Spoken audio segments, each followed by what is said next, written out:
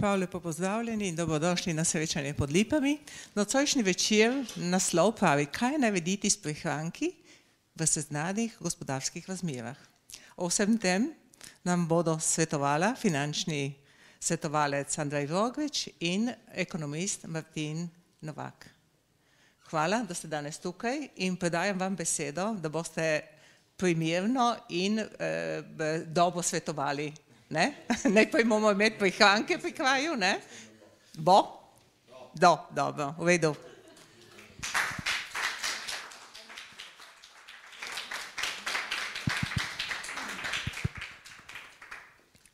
Dober večer vsem, tudi v mojem imenu, Martin sem, kot je že omenila in jaz sem po dokončanem študiju v, v financah in ekonomiji, zdaj sem zaposlen v bančništvu, tako da imam recimo bolj ekonomski pogled na, tej, na, tej, na to situacijo ne, in tudi za kar se znotraj nas govori.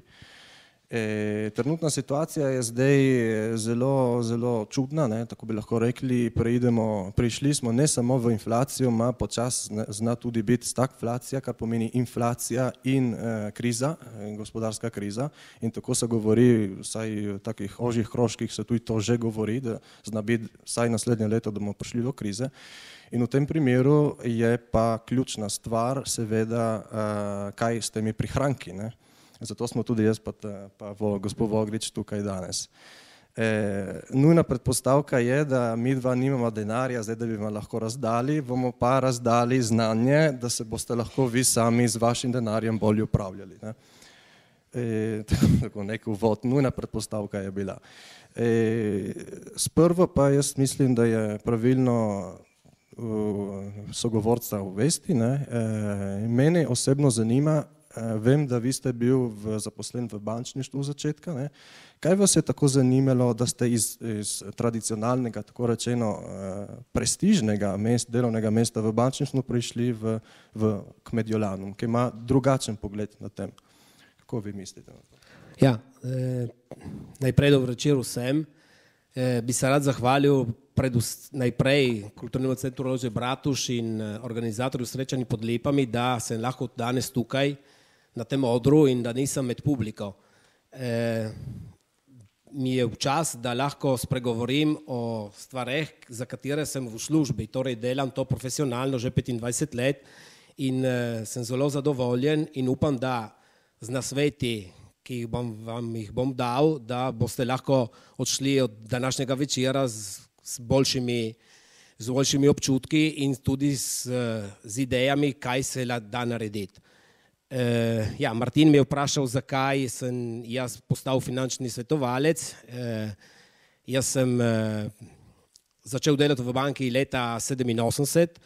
Sem, že ko sem končal študij, sem diplomiral, sem si želel iti v banko, sem potem končal vojake in sem vprašal, sem naredil prošnjo na banko, sem bil sprejet na kmečko banko in tam sem delal 13 let. E, sem postal direktor podružnice v Krminu, in, ki je bil tudi cilj, ko sem šel v banko. In takrat, preden sem jaz e, postal direktor, sem, se, mi je banka začela biti tesna in, in ni bila prav tisto, kar sem si, kar sem si jaz e, mislil. Ne. Tako sem postal pa potem vodja podružnice, mi je dalo še dodatno, dodatno moč, da sem potem eh, sprejel izziv, ker sem bil poklican se strani drugih bank, med katerimi tudi potem banka Mediolano, ki sem jo zbral in sem šel iz banke, sem dal dimisije in sem šel delati prosti poklic. Eh, zbire v glavne sta bile dve, recimo. Eh, to, kar mi ni pašalo na banki, je bilo to, da jaz na banki sem bil, ja, vodja podružnice, ampak sem eh, bil vsekakor uslužbenec. To italijansko je boljše reči, italijanščini je, je, je tako, ne, dipendente, ne, si odvisen od nekoga, torej si direktor, ampak nekdo ti pove, kaj moraš prodajati, kaj moraš narediti in tako naprej. Ne. In to za stranke ni vedno ta boljša solucija. Ne. Torej, moraš nekaj prodajati, kar je dobro za banko in ni dobro za stranke.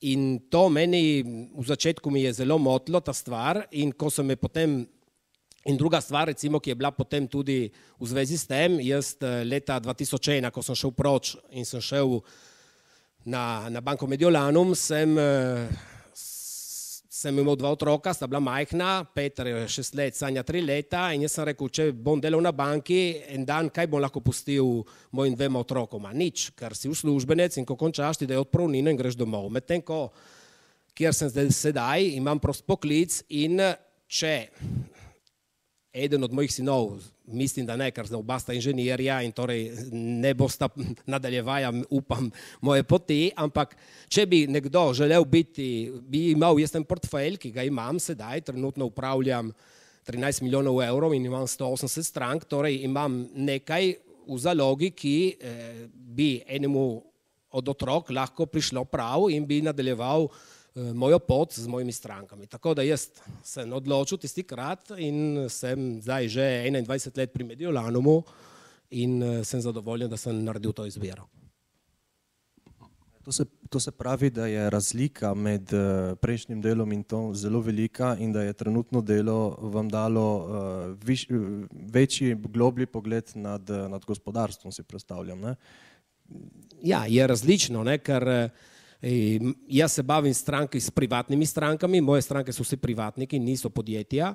E, imam družine, imam e, člane ki su po, e, stranke ki su u pokoju, imam e, osebe ki imaju veće donosnost, veće doho, e, dohodke, imam, imaju veće naložbe in tako naprej. Ne? In skušam e, dati možnost tim strankam da s prihranki pridijo do življenjskih ciljev. E, vsak ima razne cilje in mora vrčivati, bomo videli potem, ko vam bom pokazal, kar sem pripravil, da je treba začeti razmišljati malo drugače. In na tej banki, poleg banke tekočih računov, nalaga in varčevanja, imamo tudi zavarovalnino in vse, kar je v zvezi z, z financo v privatnem svetu. Ja, to se pravi, da je od zadaj vem, ne, e, veliko teorije. Jaz mislim, da je tudi za, za publiko zanimivo, da bi to teorijo malo predstavil, ne, ker ste pripravili vaše, e, vašo predstavitev. Ja, jaz za, sem pripravil, bomo sicer videli en, en posnetek, e, bi še m, dodal, kar se tiče mojega posla, da e, sem prevedel malo nerodno, ampak da damo smisel. Ne. Ko sem jaz začel delati, sem bil promotor financiarjev, sem nekaj promoviral, potem moja služba v 21 letih je menjala, ne? sem postal finančni svetovalec, potem sem postal premoženski svetovalec, torej v finance se je vključilo tudi vse premoženje družine, torej nepremičnine in vse drugo. Sedaj sem finančni posrednik za družine, torej vse, kar ki gre okoli dedovanja, vse, kar se tiče, da v družinah potem je generacijski preobrat, eh, eh, starši dajo sredstva in podjetja sinovom in tako naprej. Torej je en, en posel, ki se je v, v teh 20 letih se je spremenil. Eh, sedaj jaz bi vam predlagal, da si ogledamo en kratek film, en kratek posnetek, pet minut traja, je v italijanščini, se oproščam, ampak nisem utegnil prevesti vsega, bo, bo nekaj bo tudi v italijanščini, ampak to nam bo dalo zdaj, kakšna je sedanja slika po pandemiji in tudi kam Italija gre si pa vsi ogledamo in potem bomo na to komentirali in bomo videli, kakšne so težave in bomo skušali vam dati ene rešitve in ene moje poglede in ene moje nasvete v zvezi s tem.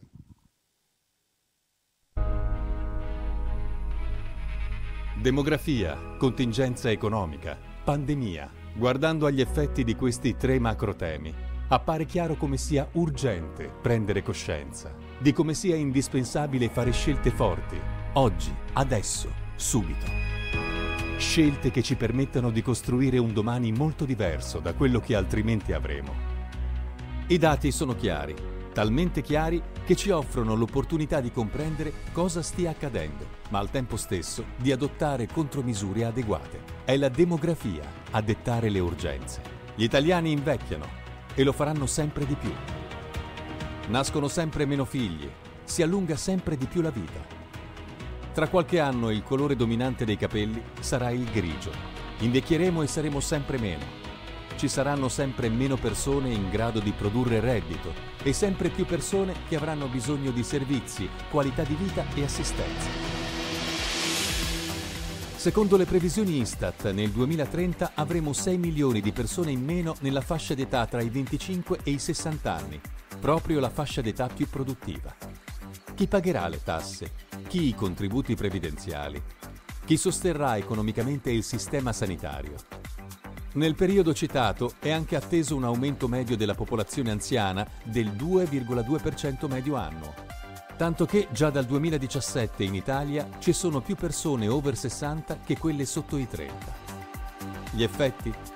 Oggi ci sono 23 milioni di contribuenti e 16 milioni di pensionati, un terzo dei quali riceve meno di 1000 euro al mese. Tra 14 anni i contribuenti saranno 17 milioni, ma con 18 milioni di pensionati. Capite perché dovrebbero suonare le sirene? E gli effetti dell'invecchiamento cresceranno esponenzialmente con l'arrivo dei baby boomers nelle età deputate alla previdenza e con la costante diminuzione delle nascite. Nel 2020 è stato registrato il record negativo assoluto di nuovi nati nel paese, con 16.000 nati in meno dell'anno precedente. Il calo è attribuito principalmente alle nascite da coppie di genitori italiani. Le donne italiane in età riproduttiva sono sempre meno e mostrano anche una propensione decrescente ad avere figli. Tra il 2009 e il 2019 l'età media al parto in Italia è aumentata di quasi un anno, rispettivamente da 31,2 a 32,1. Tutto questo incide anche sulla composizione dei nuclei familiari che hanno rappresentato fino ad oggi il vero centro mutualistico del paese, sostenendo anche le carenze del sistema sanitario. Negli ultimi dieci anni il numero medio di componenti per nucleo familiare in Italia si è ridotto dello 0,8% medio annuo, passando da 2,5 a 2,3. In particolare sono aumentate le persone sole. Nel 2019 il 33,3% delle famiglie risultano monocomponente contro il 28,1% del 2009. Cresce la quota di coppie senza figli e le famiglie monogenitore, che nel 2019 erano pari al 16,8%, in aumento rispetto al 2009 di 3,8 punti percentuali. Tutto ciò ha effetti sull'efficienza delle risposte sanitarie, soprattutto in casi di necessità come quelli palesati dall'arrivo della pandemia, che ha costretto tutti noi ad aprire gli occhi e a comprendere che certe strutture non avevano l'efficienza che si pensava avessero. Sono 19,6 milioni gli italiani costretti a pagare di tasca propria le cure. Nel 2019 un cittadino su due lo ha fatto. Nel 2020 in Italia sono stati sospesi 12,5 milioni di esami diagnostici, 20,4 milioni di analisi del sangue, 13,9 milioni di visite specialistiche e oltre un milione di ricoveri. La spesa sanitaria nel 2020 con la pandemia è arrivata quasi il 7% del PIL, con 5.600 euro pro capite spese in cure, medicinali e integratori. E crescono anche i tempi d'attesa per le prestazioni mediche in tutti i settori, con una forte accelerazione dalla fase pre-Covid a oggi. E non abbiamo visto tutto. Demografia e pandemia si innestano in un sistema che ha altre emergenze, come quella della qualità dell'istruzione e dell'occupazione. Il futuro dei figli, il carico dei genitori anziani, sono un tema con cui ci confronteremo sempre di più. Bisognerà occuparsi dei figli, delle persone anziane, di noi stessi. Tra tanti numeri negativi ci sono però due dati positivi che fanno ben sperare. La fortissima propensione al risparmio e di 4.424 milioni di euro di attività finanziarie già accantonate. Il risparmio va investito e reso produttivo. Dovrà trovare soluzioni efficienti e lavorare con noi, per noi, alla costruzione di un futuro molto diverso rispetto a quello che ci aspetta.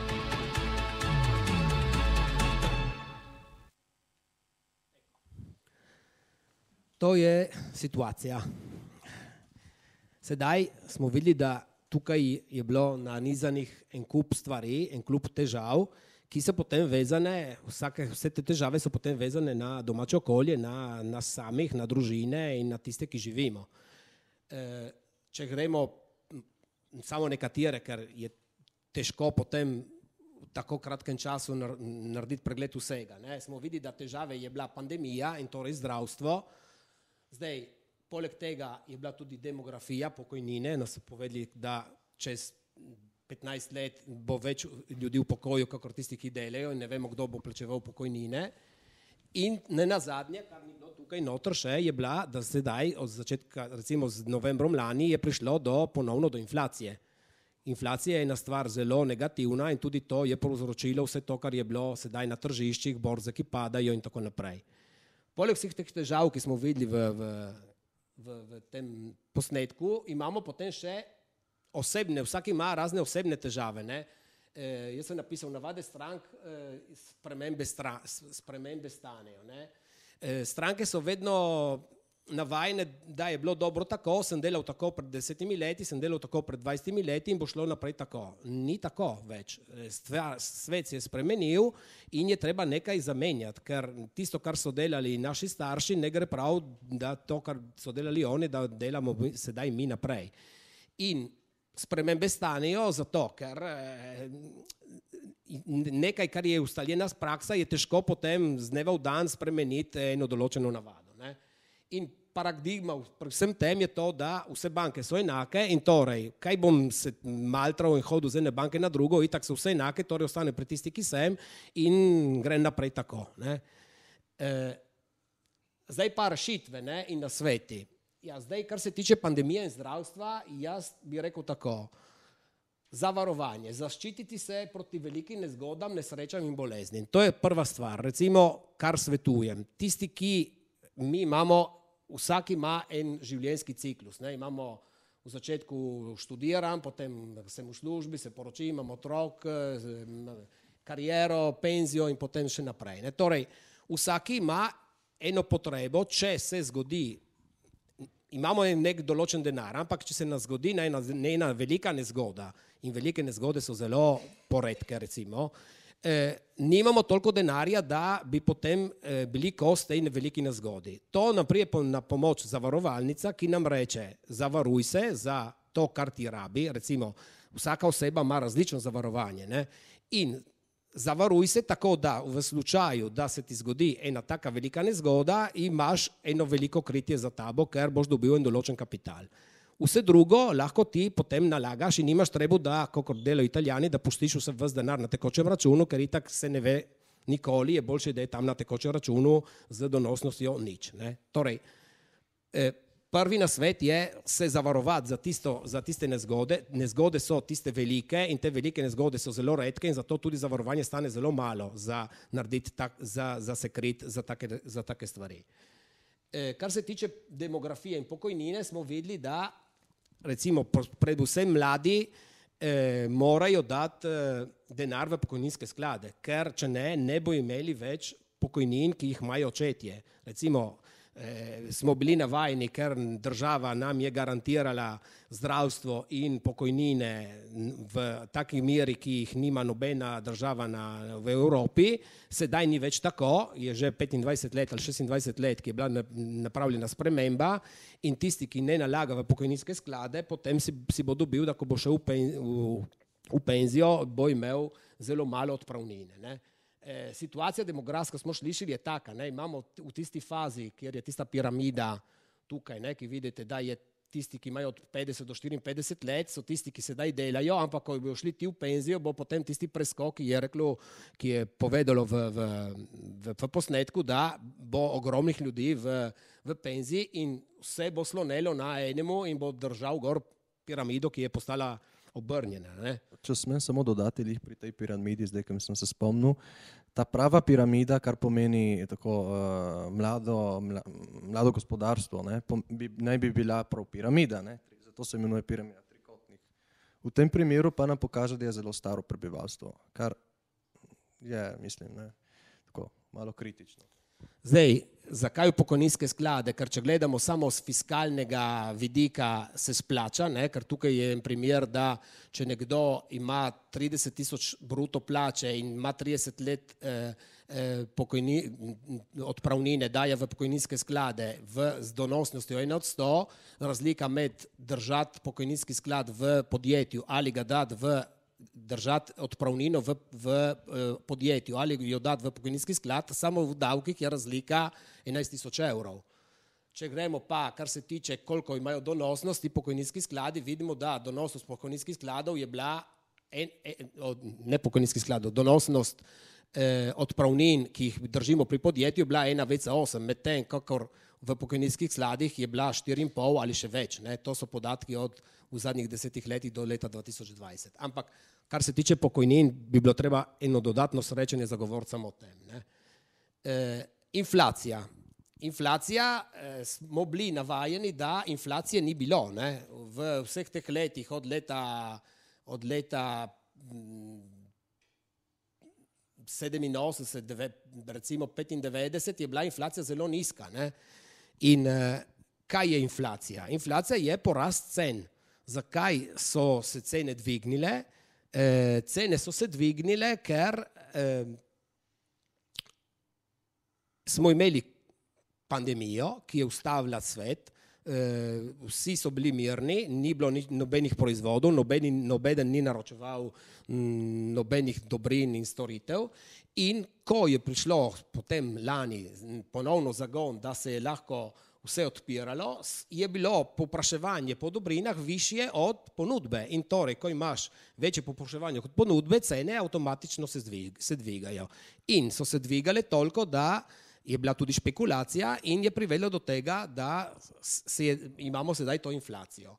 E, inflacija je različna, tukaj vidite, da recimo m, imamo v kar, kar ki teži na ta eh, koš, ki, ki meri to inflacijo, imamo tukaj odstotke, koliko velja eh, prehrana, koliko velja eh, hiša in vse m, elektrika, m, eh, plin in tako naprej. Ne? In vidimo, da sedaj tudi sami opazimo, da ko gremo delati, ko gremo tankati z avtomobilom in tako naprej, in ko gremo kupovati, in ko gremo recimo v hotel in tako naprej, se so se cene zvišale. Tukaj je ena diapozitiva, ki pravi, um, koliko za vsako družino naj bi se dvigal strošek, glede na to, da so se povišale eh, položnice, elektrike in tako naprej. Je en problem, ki ni samo italijanski, ker vidite, da je cel svet v inflaciji, prav zato, ker se je cel svet zaradi COVID-a ustavil in potem je ponovno šel naprej in so se cele dvignile posod, je pa različna med, eh, med Evropo in Ameriko. Evropa smo bolj vezani na to, da je energija ta glavni del ki je dvignil inflacijo, tudi ker potem je februarja je prišla še vojna z Ukrajino in torej energetska kriza, gas in, in plin in, in petrolej. V Ameriki je to bolj porazdeljeno, ne, da je v, v servisih, v navadnih storitvah, v energiji in tako naprej in v hrani, da je bolj porazdeljena inflacija ne, in je nižja od, od od uh, italijanske. Zdaj, tukaj so eni primeri. Ne? Kaj naredim, če pustim denar na tekočem računu, ki mi ga banka ne obrestuje, mi ne da nič za njega, in ga pustim za eno, dve, tri, štiri, pet let z inflacijo, ki je recimo sedem. E, podatek od petka je, da inflacija v Italiji je osem, torej je še slabši, kakor je to sedaj. Ne? Pomeni, da če jaz pustim denar eno leto tam, dve leti tam, tri leta tam, štiri leta tam, po petih letih jaz sem zgubil 30 od 100 kupne vrednosti tistega denarja. Jaz bom imel vedno 100 evrov na banki, ampak s tistimi 100 evri ne bom kupil več iste dobrine čez pet let, ker bom rabil 30 evrov, 30, 30 eh, evrov več za kupiti isto stvar, ki jo kupim danes, ne? ker cene se bojo povišale. Torej, moram narediti nekaj, da ohranim vrednost tega denarja. Tudi ker plače in druge stvari ne grejo gor, kakor gre inflacija. Ne? Tukaj je en drugi primer z inflacijo, ki sem 6,7, ki mi reče, da v desetih letih jaz, moja kupna, moja vrednost mojega denarja se razpolovi. Če ne naredim nič, pustim denar tam, da ga ne nalagam in da nimam domene donosnosti od tega denarja, jaz v, peti, v, v desetih letih sem zgubil polovico vrednosti tistega denarja. Za stvar, ki danes jo kupim za 100, čez deset let moram dati 200.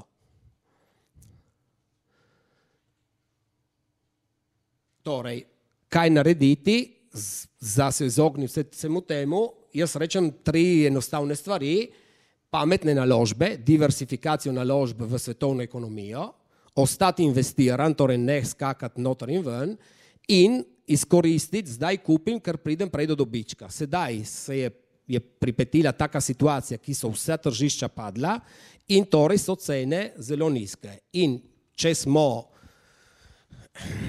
če če eh, mislimo in, in, in, in, in delamo racionalno, bi morali sedaj, ki so cene nizke, kupovati. Žal ne delamo tega, ker smo bolj emotivni kot ljudje in ko padajo cene, ne kupujemo, ostanemo mirni. Ne? Potem, ko cene se zvišajo in porastejo, začnemo kupovati, ne? ki je obratno tistega, kar bi morali delati.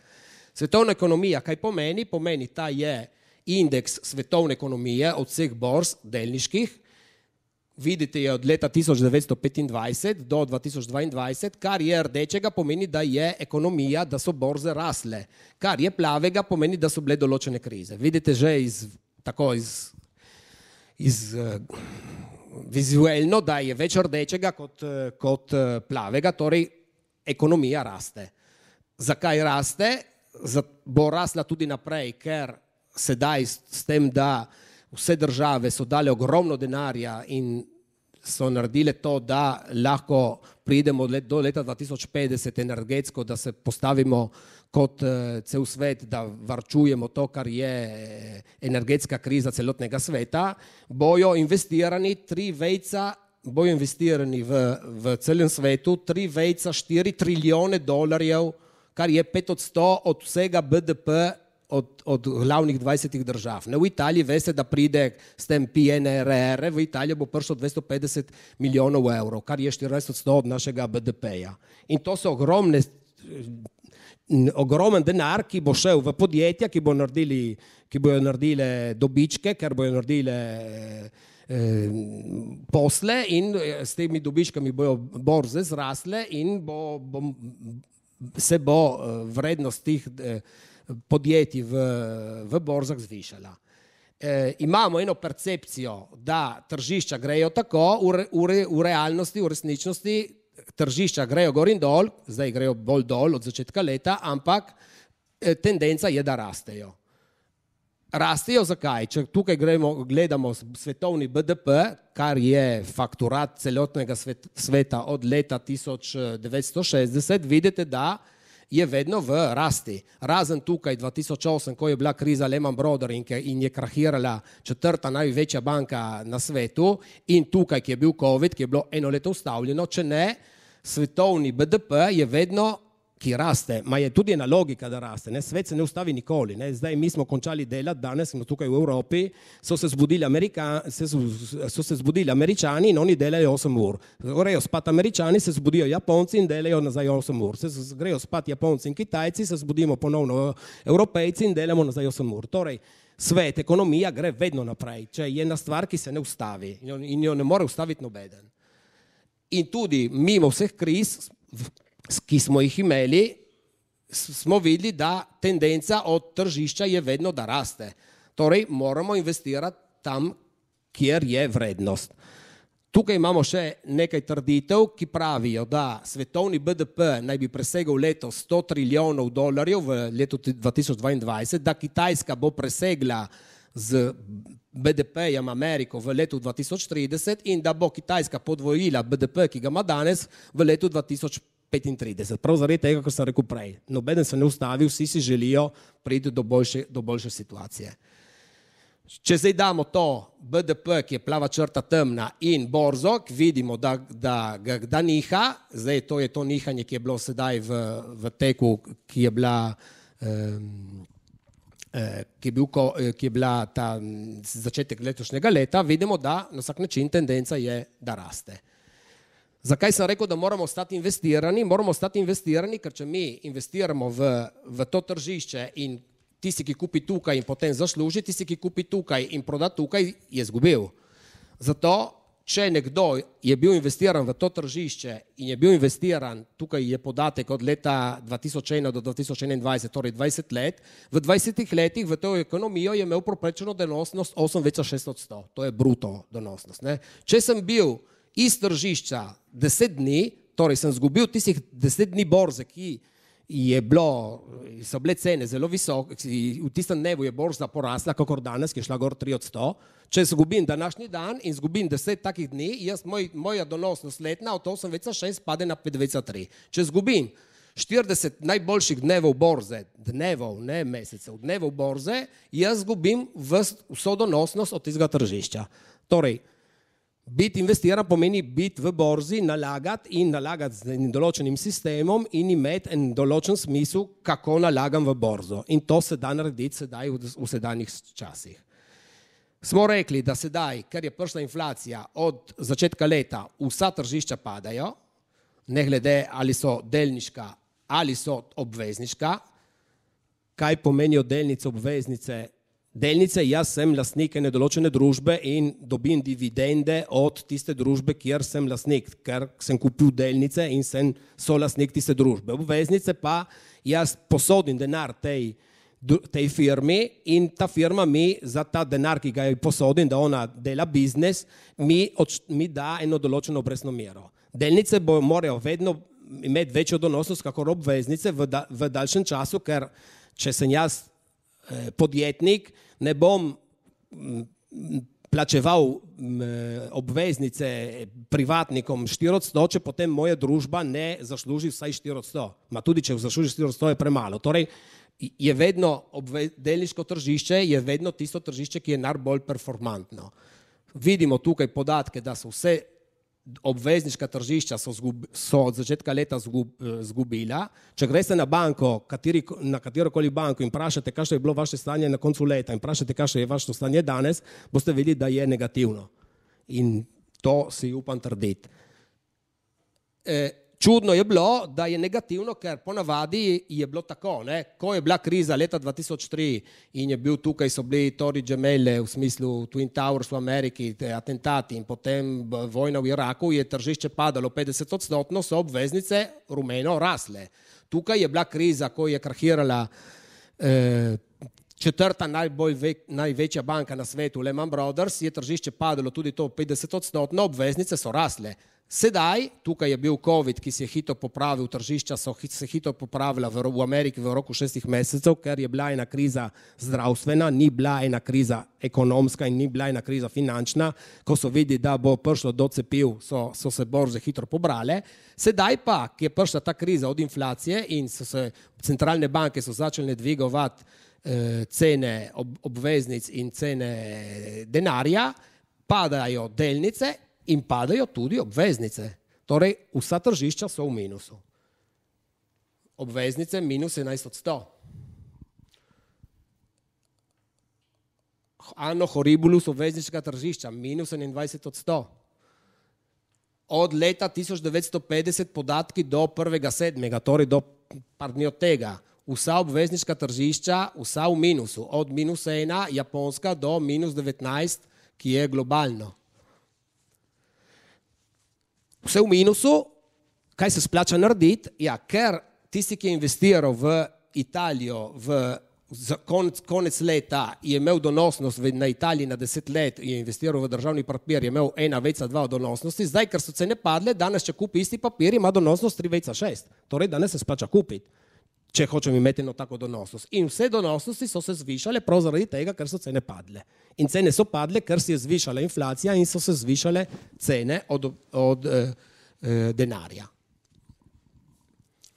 Kaj delajo italijani? Italijani investirajo vse v sklade, ki so likvidni, rdeča črta, investirajo vse v obveznice, do, to je do leta 2022 in do recimo do m, prvih eh, treh mesecev leta 2021 zelo malo v delnice, pod ničlo, so, so prodajali delnice. Tisto tržišče, ki je bilo najbolj donosno, so ga prodajali.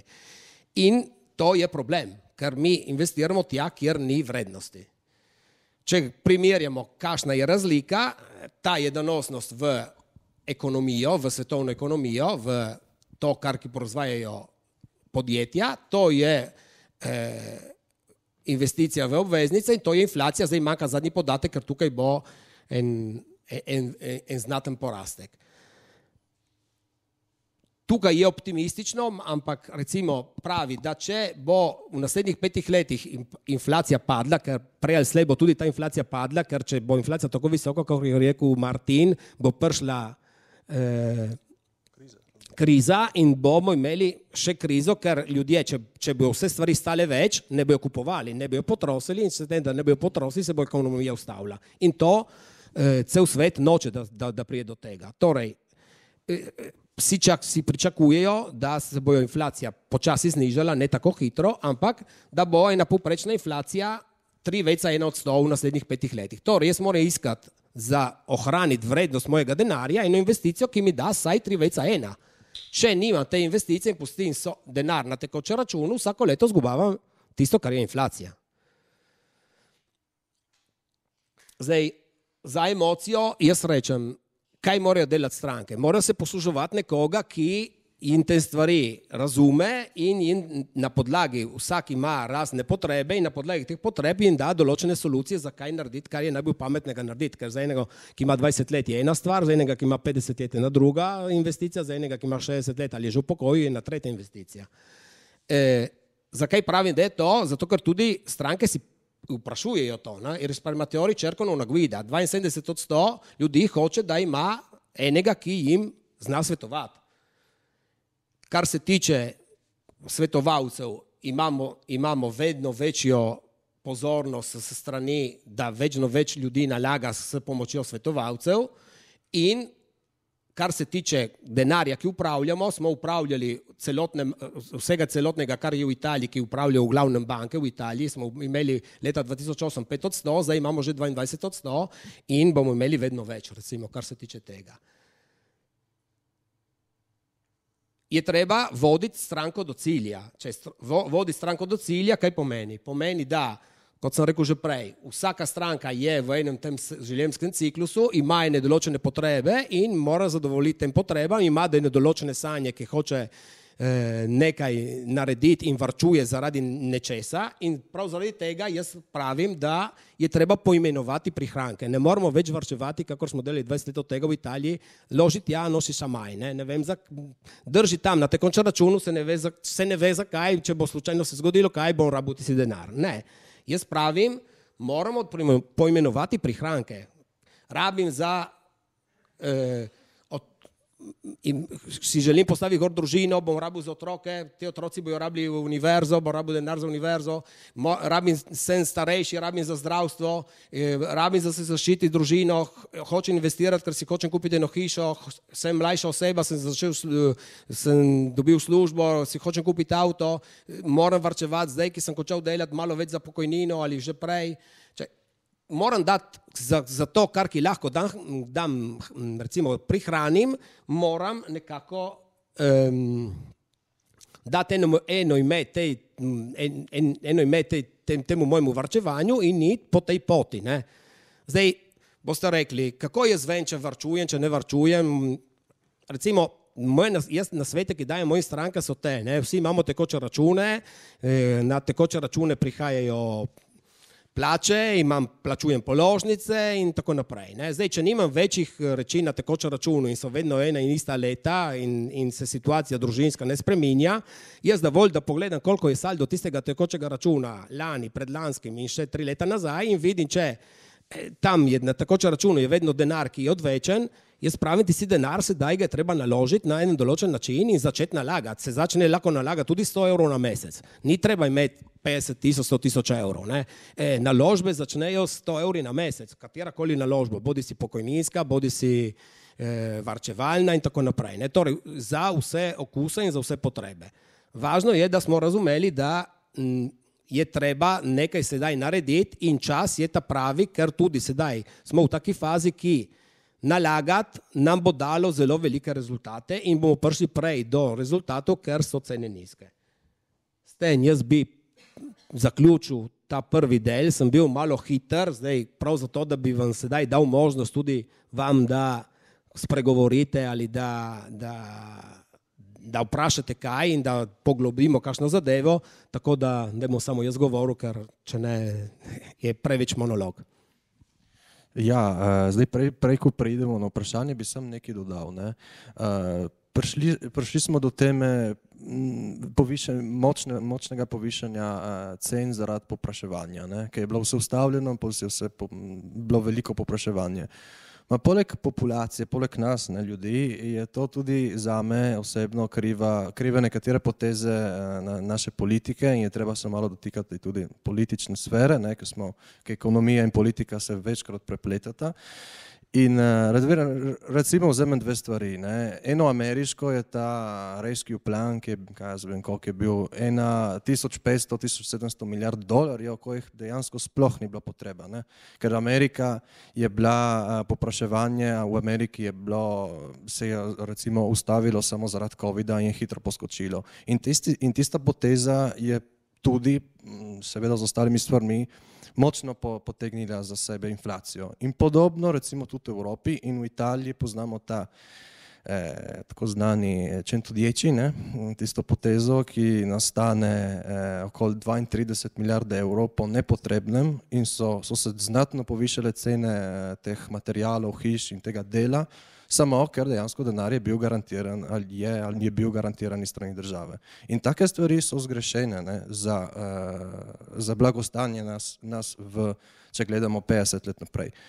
Tako da jaz mislim, da uh, ko, ko gremo na, na ko volimo, ne, je treba tudi malo pomisliti, kaj te stvari pomenijo. Ker seveda eh, nekaj naredimo sami, da je s tem, da investiramo in se totalno strinjam, in velik del je tudi, je tudi država. Ker mi imamo tako velik javni dolg, ki nas bo pripomoril k privatiz nečem, privatizaciji, ima seveda nižanju pokojnin, da, uh, da smo prišli do te situacije, da moramo dejansko res razumeti, kaj pomeni investirati. In se spomnim še, kar je rekla, in to se navežem tisto, kar je prej uh, on, on dodal, ne, da zdaj so cene zelo nizke. Ne. In uh, se spomnim, kar je rekla moja profesorica na, na, na višji šoli še od, od ekonomije, je rekla, takrat, ko, ko tudi um, frizerka govori, da je treba nekaj kupiti, kazujem, bitcoin ali karkoli že, takrat je zadnji, skrajni zadnji čas, da to prodamo in da si vzememo dobiček. Ne to mi je ostalo v mislih in jaz mislim, da res eh, je, je realnost. Zdaj pa mislim, da je trenutek, da, da ste tudi vi udeleženi. Tematika je zelo seveda, zanimiva in tudi kompleksna in mislim, da dodatne vprašanja so več kot potrebne tudi. Ne.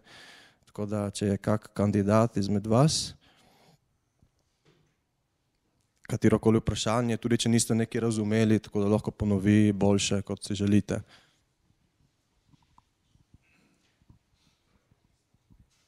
Drugače lahko postavim tudi jaz, povejte mi, če imate kaj.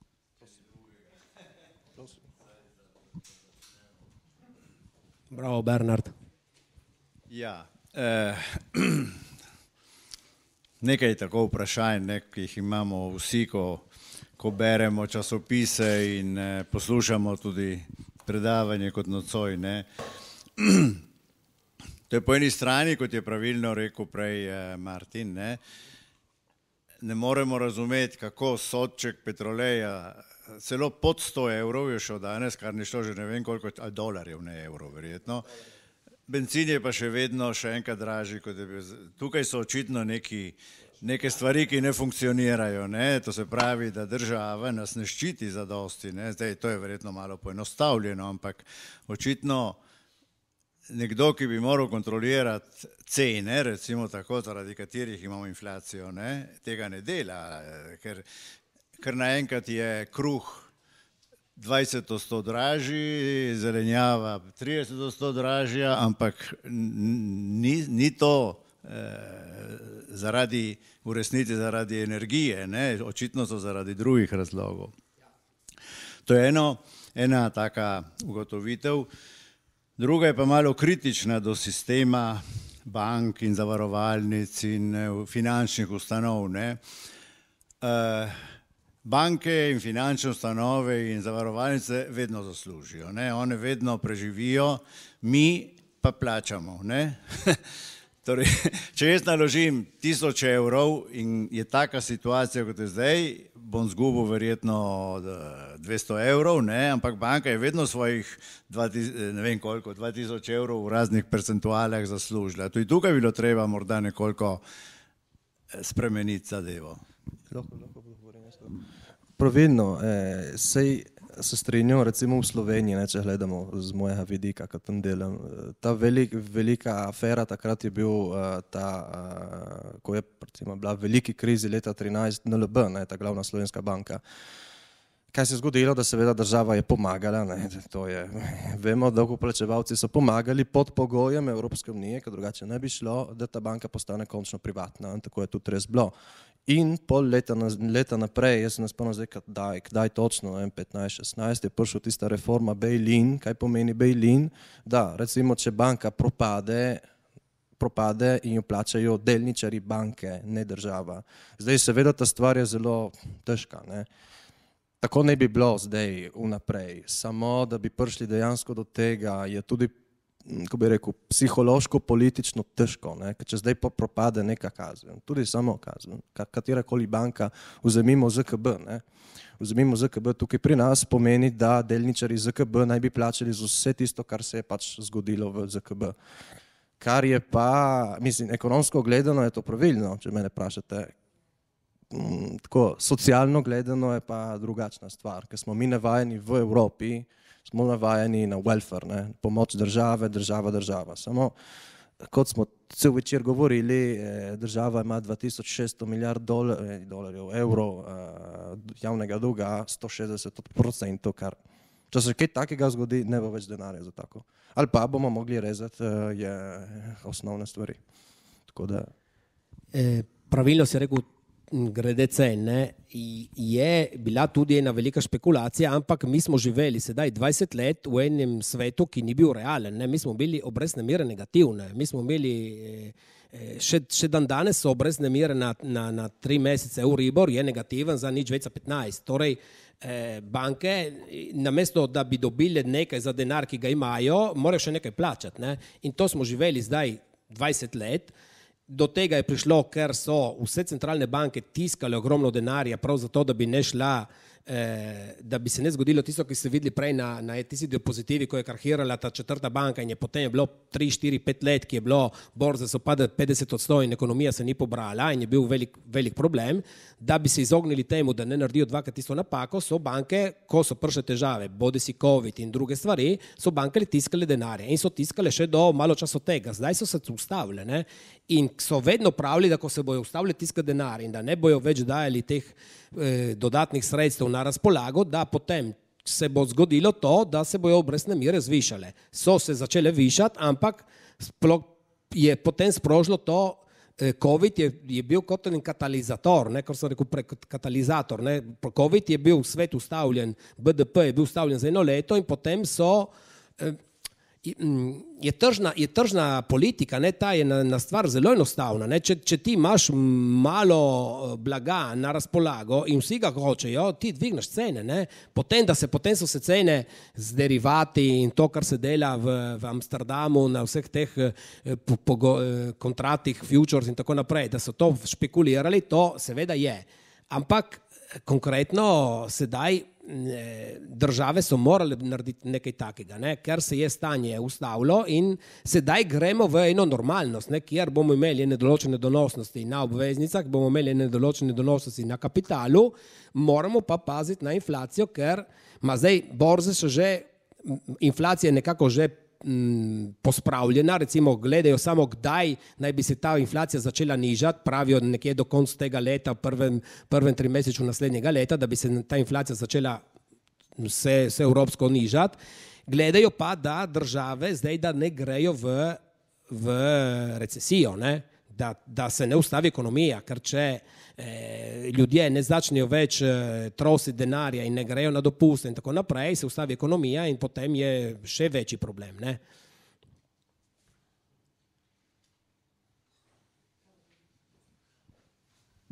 Jaz bi se zahvalila obema za tako zanimivo predavanje in menim, da res vsi potrebujemo malo več ekonomskega znanja, saj zase govorim. Eh, in mene bi pa zanimala druga stvar. Jaz mislim, da Eh, mogoče ti Andrej si to poudaril, eh, problem recimo čustvenega trenutka in racionalnega. Ne? Eh, verjetno marsikdo izmed nas si želi varnih naložb, ne? torej da bi investiral, ampak da bi želel imeti nek dobiček. Mislim, da je tukaj tudi problem prav psihološki, da nihče noče tvegati, ne? torej da izgubi to, kar uloži. To je ena stvar, katere so recimo danes najbolj varne naložbe. Drugo vprašanje bi bilo po zvezi z nepremičninskimi trgi. Recimo, jaz samo malček opazujem to, kar se dogaja v Sloveniji.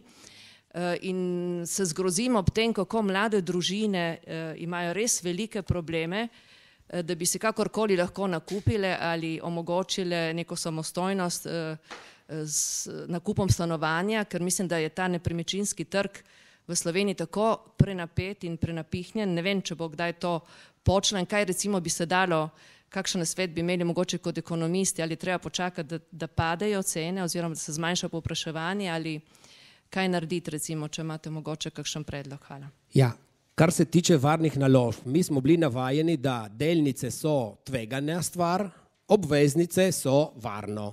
Če dam v obveznice, banka ne bo nikoli eh, krahirala, vsi smo bili na banki, banka nam je ponujala lastne obveznice, vsi smo kupovali te obveznice, povprečno italijani imajo tri obveznice, ne, eno bančno, eno drugo in še en državni papir in to smo italijani delali ogromno število let, ker tudi donosnost na teh papirjih in na teh državnih papirjih je bila izjemna, ne. Jaz leta 1990 je bila donosnost na državni papir bot, ki je trajal eno leto, je bila donosnost 12 od 100.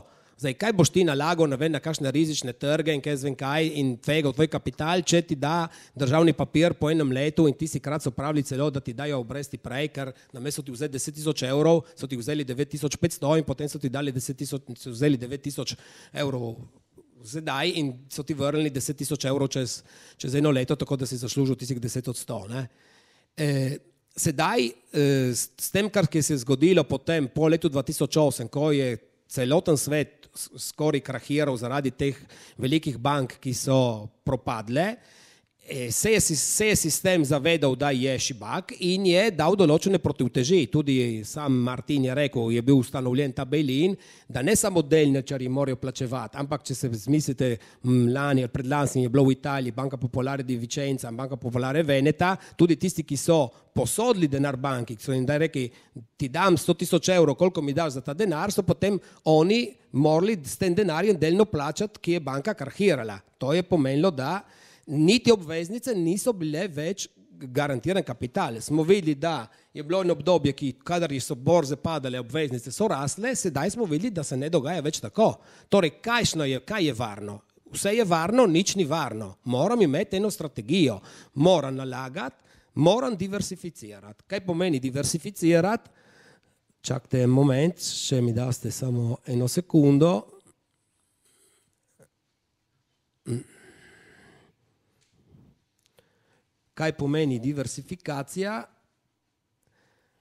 Diversifikacija pomeni, imam eno časovno diversifikacijo, imam določen kapital, nekaj na kratko obdobje do tri leta, nekaj na srednje obdobje do 30 let, nekaj na dolgo obdobje, za denar, ki ga ne bom rabil lahko diversificiram po, vr, po vrsti vrednostnih papirjev, kupim delnice, kupim obveznice, imam likvidnost na tekočem računu, imam eno diversifikacijo geografsko, torej nekaj investiram v Ameriki, nekaj v Evropi, nekaj na Japonskem, imam eno diversifikacijo sektorijalno, kupim energijo, kupim industrijo, kupim financo, kupim tehnologijo, imam eno valutarno diversifikacijo, nekaj kupim v dolarjih, nekaj kupim v evro, nekaj kupim v jen In potem imamo še eno četrto diversifikacijo, ki zdaj imamo te države v velikem razvo potencialnem razvoju, kakor so BRICS. BRICS je en akronim, ki pomeni Brazilija, Rusija, Indija, Čina, Kitajska in Sudafrika. Ali pa države v razvoju. In potem imam tudi diversifikacijo, ki reče, ne nalagam vse v banko, ampak nekaj tudi za varovalnine, nekaj v sklade, nekaj v delnice, nekaj v pokojninske sklade in tudi v nepremičnine. Če, Italijani imajo polovico naložb v teh spodnjem delu in še drugo polovico v nepremičninah. Ker vi veste, da italijani smo tisti, ki imamo največ nepremičnin v lasti. Ne? Smo tisti, ki imamo eh, premožensko stanje, najvi, nobeden v Evropi nima v lasti toliko nepremičnin privatnikov, kakor jih imajo v Italiji. In torej, če diversifikira na tak način, imam možnost, da moj denar ne izgine. To lahko naredim z enim skladom, kupim en sklad, 5000 evrov rabim za en sklad, ta sklad diversificira v, v glavno v štiri ali tri od teh, od teh, v tem sistemu diversifikacije in, in v tem skladu je 4000 delnic. Če jaz za zgubiti denar, ki ga sem nalagal, morajo vse 4000 družb, ki so v tem skladu, krahirati na svetu in so te boljše družbe v tistih sektorjih, kar je skoraj nemogoče. In če se krahira, pomeni, da je en drugi problem. Ne? je ena tretja svetovna vojna, je en drugi problem, ki ga ne bomo rešili s tem, če imamo ali, ali nimamo 5000 evrov investiranih. Torej, diversifikacija je en način, da jaz znižam tveganje in si ne prevzamem določenih rizikov. Druga na svet je, da moram, kot sem rekel prej, moram ostati, moram ostati investiran. Jaz sklad ga lahko kupim, ga lahko prodam v petih dnevih, imam te denar na tekočem računu, ampak če ga rabim čez šest mesecev, bom investiral v en sklad, ki bo zdaj v likvidnosti, ki ima eno določeno, bo imela sedaj eno določeno obrestno mero. Če je ta sklad ga rabim, ker si hočem kupiti avto čez pet let, bom investiral v sklad na srednjo obdobje in bom nalagal za pet let v ta sklad. Imam vedno možnost ga prodati, ampak če ne vem, kdaj bo ta motra trenutek, ko se bo pojavil, bom videl, kako je ta sklad in kaj narediti v tistem slučaju. Ne? Torej, diversifikacija in naložba ostati investiran. Ne? In s tem znižam tveganje. Torej, ni, da, da je ena naložba varna. Jo ni, jo ne obstaja ene naložbe varne, zdaj kot zdaj. Moram investirati v več stvari, ki diversificirajo, ne stavim vse jajce v en koš, ker če mi pade koš, razbijam vse jajce, torej dam malo povsod. Ne? Nepremičnine. Nepremičnine je velik problem, je ena dobra naložba, eh, smo videli, da cene eh, nepremičnin se višajo in padajo z ozirom na tako, kot so obrestne mere. Zdaj, če se bojo obrestne mere zvišale tudi za hipotekarna posojila, če si hočem kupiti nepremičnino, se bojo tudi cene nepremičnin znižale, ker ne vsi bojo imeli možnost si, na, si najeti posojilo z ozirom na plačo, ki imajo in tako naprej. In, bojo, in, in to bo je eno tržišče, ki če na eni strani ena stvar gre gor, na drugi strani ena stvar gre dol. Ne? Mi moramo razumeti vedno to, da ko Eh, na trgih se nekaj kupuje in se nekaj proda, je nekdo, ki kupuje ki, in je nekdo, ki prodaja, ki misli čisto obratno tistega, ki kupuje. Ne? Če jaz kupujem eno stvar, ki mislim, da bo rasla, tisti, ki mi jo proda, ker če ne, posel ne gre skozi, misli čisto obratno, ker misli, da ta stvar bo šla dol. Torej, tržišče je perfektno, posel vse izvede, samo če sta dve osebi, ki prav mislita različno. Ne? In je, eh, tukaj je moč od, eh, koliko je popraševalcev po nakupih in koliko je popraševalcev po, po prodaji. Ne? Tako da nepremičnine je en sektor zase, ki, eh, ki ga vodi pa tudi politika države s tem, da je koliko so obrestne mere in koliko je potem kako je možno potem te nepremičnine kupovati. Ne, če, če, na kitajskem so šle premičnine tako gor, da v določenem momentu tisti, ki so najeli posojila, so rekli, se mi ne splača več eh, eh plačevati tih, eh, tih najemnin in pustim, da ne, ne, nepremičnine ostane tam in si kupajo eno drugo, ker so cene padle pri nepremičninah, ker so se zvišale obrestne mere. Ne?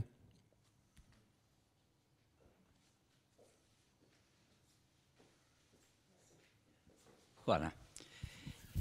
Seveda, velik izziv je. Ne. Gotovo je pa nekaj, da denar, ne glede obveznice ali pa to luno, tretje, vse so bili boti pred leti, eh, ko je bila inflacija 20 od 100 in se je zgledalo, da je eden z boti je zaslužil. Vsem hopil tudi jaz, no tudi na kmečki banki, ki so prodajali in tu no tretje. Si dobil 15 od 100, ima 5 od 100, konc koncev si izgubil. To je, to je realnost in to se godi tudi danes. Ne? Ne? To je realnost. Zato je, je malo težko, vem dobro, je res diversifikacija v teh eh, skladih in tako je manj riziko. Ne? Samo tudi gotovo je pa, ne, da ne zaslužiš. Ne? Ja, lahko manj zgubiš, ma, ma ne zaslužiš. Ne? Lahko. In potem še nekaj. Ne? Kaj, eh, ja, ja. Jaz eh, toliko pred leti, ne vem, sem kupil par zlatnikov. Ne. Če bi kupil tega zlatnika, takrat so bili, ne vem, onča 200, 200 tisoč lir, ne. Zdaj je 2000 dolarjev ne, ali 2000 evrov. Ne. Vidiš, če bi, če bi samo to napravil na mesto v, v moje podjetje, tu ono tretje, nimam problem, jaz nisem imel problema, potem ne botne, ne, ker sem vedno imel kam investirati, tudi preveč. Ne. Zato ni, ni moj problem. Ne. Druga, druga vprašanje je pa to. Dan danes Evropa se je obvezala, da po vojni bo Ukrajino dogradila in to se govori od 700 tisoč milijard, da bo investirala. Kam bomo šli iskati ta kapitale? Bomo tipkali denar in ta denar bo papir. Ne? In, in, in to, to v tem momentu, s to vojno, je zelo, pravim, rizično to. Ne? Je rizično imeti denar pod, pod, eh, pod, pod košinom, ma rizično je tudi investicija. Ne? Torej, logično, da diversifikacija je boljša, kot da imaš samo denar. Ma tudi samo vidimo, eh, pred par leti še evro je bil 1,30, 1,40 dolar, zdaj pa smo že 1,1. Ne? Vidiš, tudi tam, novedno bi se ne mislil, da evro se povrne ponovno na 1,1, kot je bilo v začetku že skoraj. Tako je, je, zelo, je zelo labilno vse skupaj. Ja, jaz, jaz pravim to, ne, da uh, je treba uh, pri naložbah je, je pri naložbah je, je stvar zelo, vidimo, če vam dam eno prispodobo, ne, kako priti do hitrih zaslužkov, ne, če po lahki poti, ne, če, jaz tukaj govorim o investiciji, ja, po pošteni poti, jaz ne govorim tukaj o kakšnih špekulacijah, ne, ja. zdaj, tiste špekulacije si jih sliši ohromno, ne, ma je kukar, da bi rekel, jaz sem v enem nabotičniku in vzamem dvigalo, in z dvigalom pridem hitro do rezultata, ker pridem hitro do vrha, ne? ker v treh sekundah mi prepelje na, na... Nažalost, to dvigalo, kar se tiče tih investicij, je vedno pokvarjeno, ker ga ne moreš nikoli rabiti, zato ker nikoli se ne zgodi tega. Ne? Obstajajo pa vedno stopnice eh? in stopnice je bolj težavno, ma greš počasi, ma prideš, samo rabiš več časa za prid do vrha. In to je, ne vem, če, če, če dam koncept, ne? če eden bi rekel, jaz če investirati in če jutra zaslužiti ta ni ena investicija. Ena investicija je, to sem rekel prej, dam ime enemu denarju, imam nekaj, da, da za, lahko nekaj prihrani na mesec, 100, 200, 500, 1000 evrov, ali pa imam že en kapital. Za čes mi rabi ta kapital? Dajmo eno ime temu kapitalu. Če rabi za, se ne ve zakaj, naredim eno zavarovanje, kot sem rekel v začetku. Drugo, kar ki ne rabi zaplačati so zavarovanje, naložim, da ta denar, če slučajno mi bo rabu, ga bom šel v tistem trenutku, ga bom dizinvestiral in v tistem trenutku bom lahko z njim upravljal in bom lahko naredil tisto, kar je treba. Ne. Je treba, te stvari niso tako enostavne, ker kako je rekel prej Mirjam, tukaj so emocije. Kahneman je dobil premijo Nobel za ekonomijo in je bil ekonomist, ker vi veste, da eh, kar, bi, kar je racionalnega in bi moral narediti, naredi 10 od 100 ljudi. 90 od 100 ljudi mu ga, ga prevzamejo čustva in s tistimi čustvi ne naredi nič. In v ekonomiji to je zelo eh, razširjeno. Kakšni so, kako se lahko jaz izognem temu, da me ne čustva v tistem momentu reče, da bo zdaj gre vse dol, ker prav zdaj bom kupil. Ma ne, a, zdaj vse dol, bo šlo še bolj dol, zakaj moram kupiti, zdaj bo padalo dol, ne bo, ne bo konca. Ne? E, jaz pravim, da sistem je tisti, da ti ustvariš avtomatizme. Vsaki mesec dan 100, 100 evrov kraju. Ja, ja. In nima treba vsaki mesec iti na banko in reči, da mi 100 evrov kraju. Je avtomatsko, gre samo. In gre do, kadar gre dol, jaz s tem, da kupujem, kupujem po pol nizki ceni. Kar naredi moja žena, ki ko gre eh, v trgovino in vidi, da ena stvar, ki jo kupovala za, eh, po 10 evrov, ti si dan je in oferta in ti da je odveza za, za 10 evrov in jih kupi, če jih rabiš. Najboljša investicija, potem poješ. Ja. Prav to je, ne, recimo. Torej, ne sme biti čustva, jih lahko obvladam s tem, da dam določene avtomatizme. In avtomatizmi dan danes obstajajo. Ne, če mi, če je treba priti do enega odnosa s stranko, razumeti tudi potem, kakšne so potrebe, ker vse stranke nimajo istih potreb, vse stranke ti ne povejo vedno hitro, tako, ampak če imaš, zdaj, jaz, jaz se mislim za tiste, ki so na bankah. Če, ko ti greš na banko, če greš na eh, blagajni, govoriš za eno osebo, če rabiš za en kredit, govoriš za eno drugo, če imaš eno naložbo, govoriš za eno tretjo, če imaš za eno drugo stvar, govoriš z direktorjem in na četrta. Če potem greš čez mesec, so vse štiri menjali in, in govoriš nazaj z drugimi osebami. Če m, mm, se ne vzpostavi ta odnos, če Odnos je, da ti razumeš, kakšne so potrebe družine in na podlagi tistih potreb, ki so različne, in vsak ima različne potrebe, ker smo vsi različni na tem svetu, in na podlagi tistih potreb skušaš dati ta prave solucije. In ni rečeno, da vedno uspe, ne? ker tudi eh, moje stranke sedaj od začetka leta zgubavajo, ker ni da moje stranke ne zgubavajo, ne? ampak če rabijo denar, vemo, kam iti iskati tisti denar. Ne? Če se zgodi nekaj, vemo, da so krite, recimo, če se ja. pripeti ena stvar. Ne? Ker vam dam konkretno primer.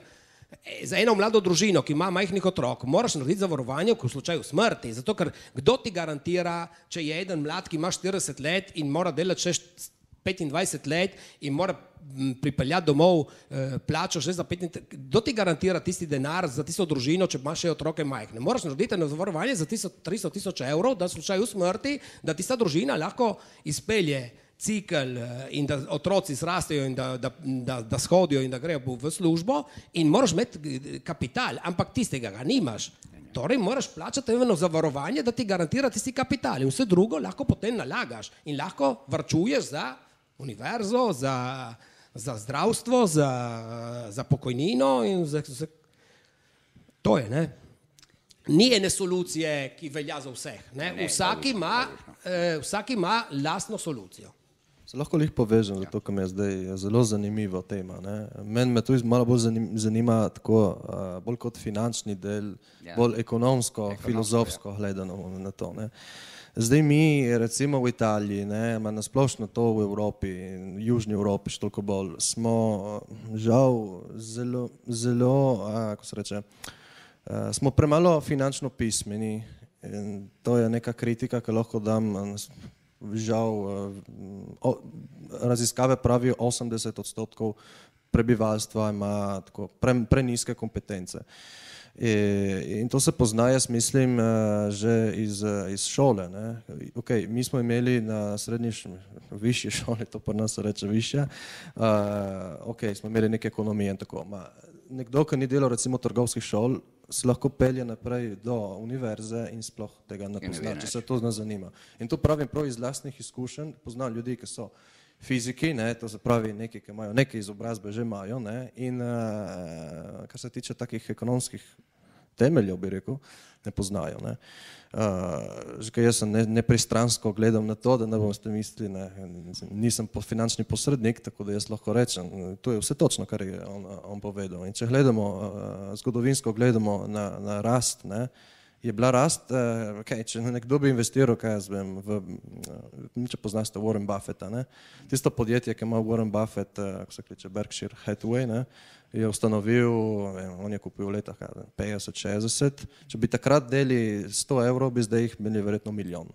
Tako da, zgod, ja, ja. če gledamo zgodovinsko, dolgoročno, ne zgodovin, dolgoročno gledano raste. Ne? Če gledamo kratkoročno, koliko kratkoročno ne, bom se, ne bomo se s tem ukvarjali, seveda pride do fluktuacij, lahko pride padec. Ne, letos je padel, zdaj, samo da zdaj več kot toliko, jaz mislim, da tudi ne bo šlo naprej. Ne. Zdaj, eh, več ali manj smo se ustavili na minimum. Gledamo, vem, eh, kar je zdaj zelo zanimivo, so vse tiste um, tehnološke, tehnološke delnice, delnice tehnoloških podjetij so tudi padle zaradi teh fluktuacij, ne, zaradi inflacije, zaradi Tajvana tudi. Ne, zdaj v Tajvanu he, je pritisk Kitajske Tajvan je največji pro, proizvajalec tistih, ko se reče, semikonduktorjev. Se ne vem, ko se imenuje te poslovensko čipov. Ne. Ja, v vsakem primeru mi čipe potrebujemo, ne, ali ne si bodi Tajvan, ali ne si bodi kje drugi, ima še zmeraj imamo potrebo. Ne. Zdaj, eh, point je, pro, m, smisel tega je, da ok, če mi zdaj investiramo v eno samo delnico, kaj jaz vem, vzemem Nvidia, ne, ki proizvaja tiste grafične kartice, ok, če delamo samo tisto, magar tudi izgubimo. Če damo v, eh, v recimo nek fund, ki investira v tehnologijo, in damo naprej deset let, sigurno bomo šli naprej. Ker mora biti tehnologija. Tehnologija je zdaj ključna stvar, tudi da se znebimo problemov uh, demografije. Ne. Ves tisti denar, ki gre, bo šel noter v, v svetovno ekonomijo, nekam bo šel in nekaj bo proizvedel. Ne vsi bojo ta denar zapravili, to je, to je logično. Ne. Kar se tiče pa eh, tega, da se v, v šoli ne uči, to je treba razumeti, če tudi država hoče, da ima državljane, ki nima, ne imajo določene, določenega znanja. Ne? Eh, to, je, To je vse to, splošno. to je vse splošno, ne? eh, popolo bue. Ne? Eh, žal, žal je tako. Je, ža, je lažje upravljati, in tako naprej. Ne? Kar sem v začetku rekel, pa je to, da moramo spremeniti eh, način in moramo začeti gledati z, z enega drugega zornega kota. Ker če ne, zdaj imamo edinstveno priložnost, da v teh momentih, vi ste videli tisti indeks, ki je bil prej, ste videli, da po drugi svetovni vojni in po vseh tistih velikih krizah, potem je tržišče raslo 600-700 od 100. Ne? Torej, Zdaj, jaz ne vem, nimam, ne vem, kam bo šlo. Ne? Sem pa pripričan, kot sem rekel prej, da ekonomija ima protitelesca. Ekonomija se ne ustavi. Če je, se je ustavila samo, ko je bil ta COVID, ma se je ustavila eno leto, ma če ne, se ekonomija se ne ustavi. Če vsi hrepenimo po enem boljšem življenju, po enem boljšem standardu in tako naprej. Ne? Tako da vsi nekaj proizvajajo, vsi nekaj hočejo kupiti, vsi nekaj hočejo prodati in to je neizbežno. Torej, in, in to tržišča in borze bodo potem dolgoročno bojo kapitalizirale. To je tako. E, zdaj, Italijani smo bili navajeni, dost, e, velika donosnost kratkoročno. Bod 10 od 100, eno leto. Ja, ima inflacija 14, sem zmeril 4 od 100 minusa. Ma, si- ma, v desetih letih sem podvojil moj kapital. Tako smo si tudi mi, Italijani, naredili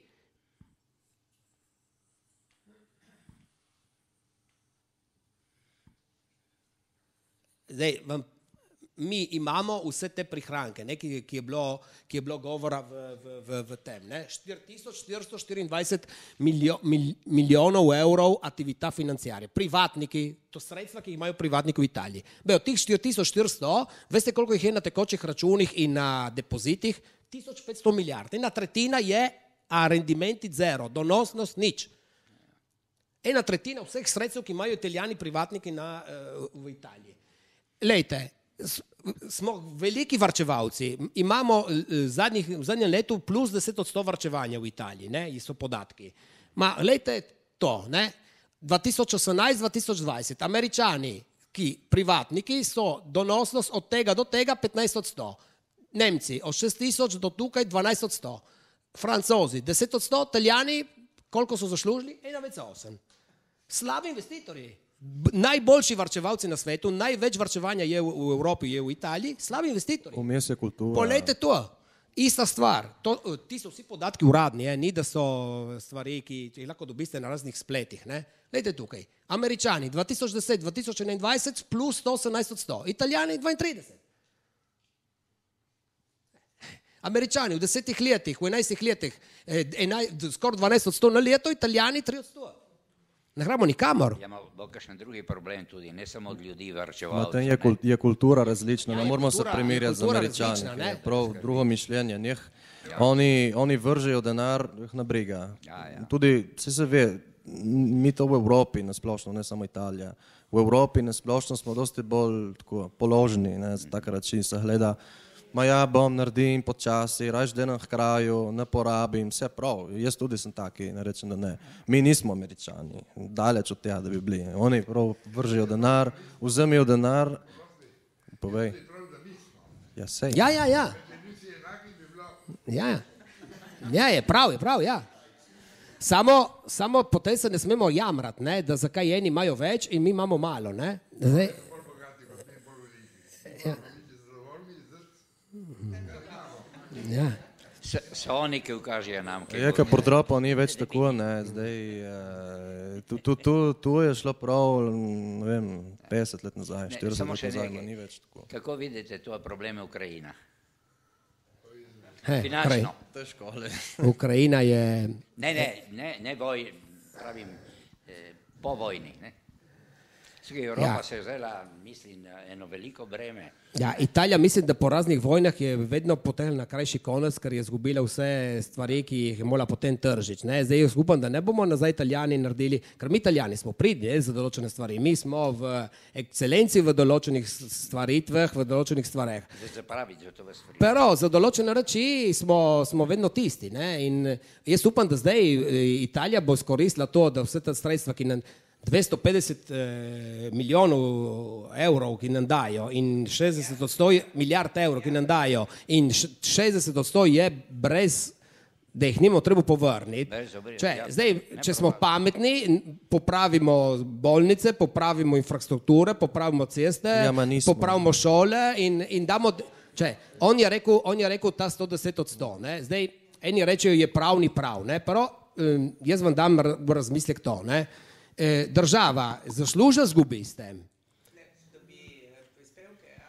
Ma država ti reče, jaz ti plačam, sto, ti narediš dela za 100 tisoč evrov in država ti da 110 tisoč evrov. In kje dobi ta država tih 110 tisoč evrov? Ma s tem, da država ti, dala, ti reče, da ti da tih 100 tisoč evrov, ti za narediti ta dela moraš najeti enega inženirja, moraš narediti družbo, ki ti dela, ki ti proda eh, celice na strehi, moraš eh, narediti zidarje, da ti naredijo hišo in tako naprej. In vsi ti delajo in vsi ti naredijo določene fakture in državi plačajo 22 odstotkov.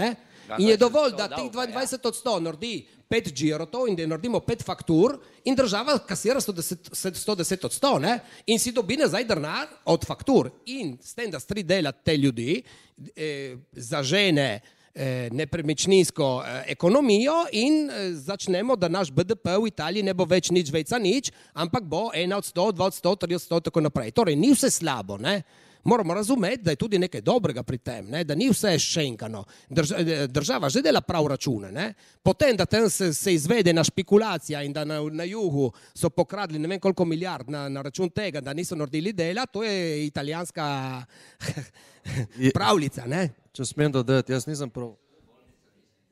Ma, če smemo dodati lihto na goriško, ne, zdaj govorimo, da ta recovery, recovery fund, ne, ki se ne imenuje recovery fund, da ima pojasniti je next generation EU, to se pravi za, za naprej, ne, za naprej, za nove generacije. V Gorici to, zdaj, zdaj jaz se spomnim, kaj se je zgodilo to v Gorici, nis, toliko govorimo, so, po, so restru, malo strukturirali, restrukturirali, malo po tisti, tisti občinski, sreče, stavbo občine, malo, po, malo po, polepšali, malo, ne, kar so naredili.